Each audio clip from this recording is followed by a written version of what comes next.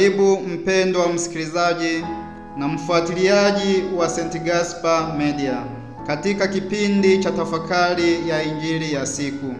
Leo ikiwa ni Alhamisi, juma la 25 katika kipindi cha kawaida cha mwaka, mwaka B wa kanisa. Masomo ya leo, somo la kwanza linatoka katika kitabu cha Mhubiri sura ya kwanza aya ya pili hadi ya kumi na moja na Injili kutoka kwa mwinjili Luka sura ya tisa aya ya saba hadi ya tisa. Karibu tusikilize Injili. Somo katika Injili ilivyoandikwa na Luka. Herode mfalume alisikia habari za yote yaliyotendeka, akafadhaika kwa sababu watu wengine walisema ya kwamba Yohane amefufuka katika wafu na wengine ya kwamba Eliya ametokea, na wengine ya kwamba mmojawapo wa manabii wa kale amefufuka. Lakini Herode akasema, Yohane nilimkata kichwa, basi ni nani huyu ambaye ninasikia mambo haya juu yake? Akataka kumwona. Neno la Bwana. Sifa kwako e Kristo. Wapendwa taifa la Mungu, nawakaribisha katika tafakari ya somo ambalo tumetoka kulisikia hivi punde. Pia leo tukiwa tunawakumbuka watakatifu mashahidi na wafia dini Cosmas na Damiano ambao walikuwa ndugu wa tumbo moja. Ndugu hawa walizaliwa huko Arabia miaka ya mwanzo kabisa ya Ukristo. Katika masomo yao walijikita zaidi katika tiba na sayansi ya dawa. Tangu utoto wao, Cosmas na Damiano walijawa na moyo wa upendo na kuwahudumia watu. Hivyo kama Wakristo, taaluma yao iliwasaidia kuwahudumia wagonjwa na kupitia utabibu wao waliweza kupata fursa za kuingia katika nyumba za wapagani kutoa huduma. Walipendwa sana na watu wote, kwani kamwe hawakuhitaji malipo kutokana na huduma walizokuwa wakitoa. Kutokana na madhulumu yaliyoibuka kutoka kwa wale waliokuwa wanapinga imani, watakatifu Cosmas na Damiano waliteswa vikali na hatimaye kuuawa kwa sababu ya imani yao. Na hata sasa watakatifu hawa Cosmas na Damiano ni wasimamizi na waombezi wa famasia.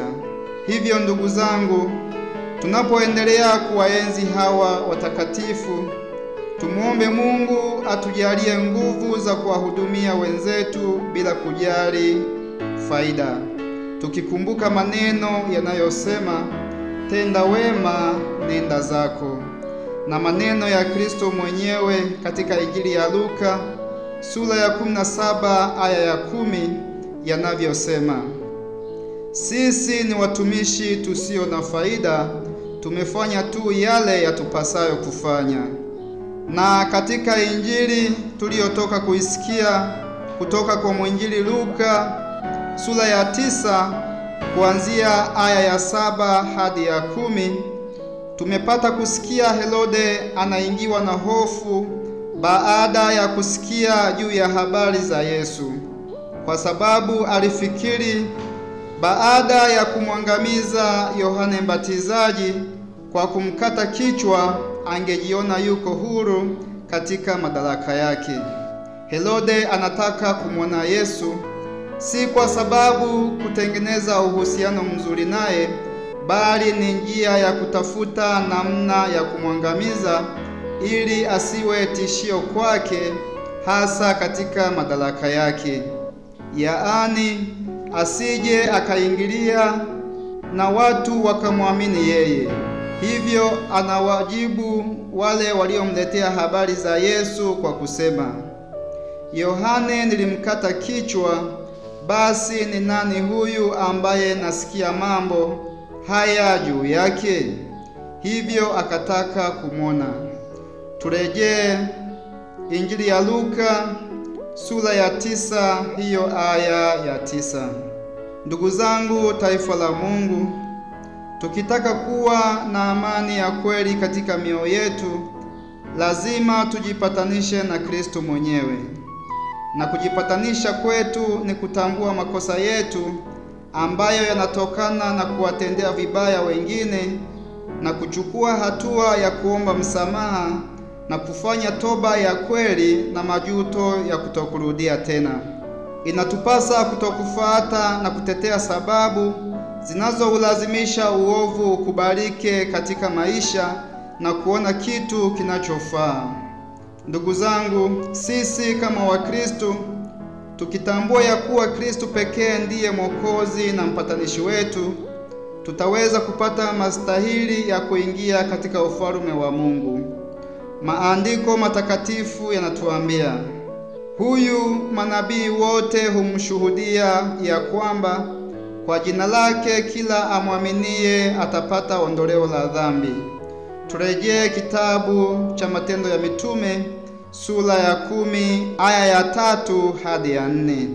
Hivyo ndugu zangu katika Kristo, tukiwa tunaendelea kusali kwa imani na tukiomba maombezi ya watakatifu hawa Cosmas na Damiano, tujaliwe nguvu za kupendana sisi kwa sisi, kufanya kazi zetu kwa moyo bila kudai fidia, na pale tunapokosea sisi kama wanadamu tuwe wepesi kukimbilia huruma ya Mungu kupitia mwanaye Yesu Kristo. Watakatifu Cosmas na Damiano, mtuombee. Na kushukuru kwa kutafakari pamoja nami injili ya leo. Niliyekuletea tafakari hii ni mimi Frateli Leonardi Deusi Sherembi wa shirika la wamisionari wa damu takatifu ya Yesu kutoka seminari kuu ya Mtakatifu Gaspari del Bufalo, Kola, Morogoro. Tumsifu Yesu Kristo.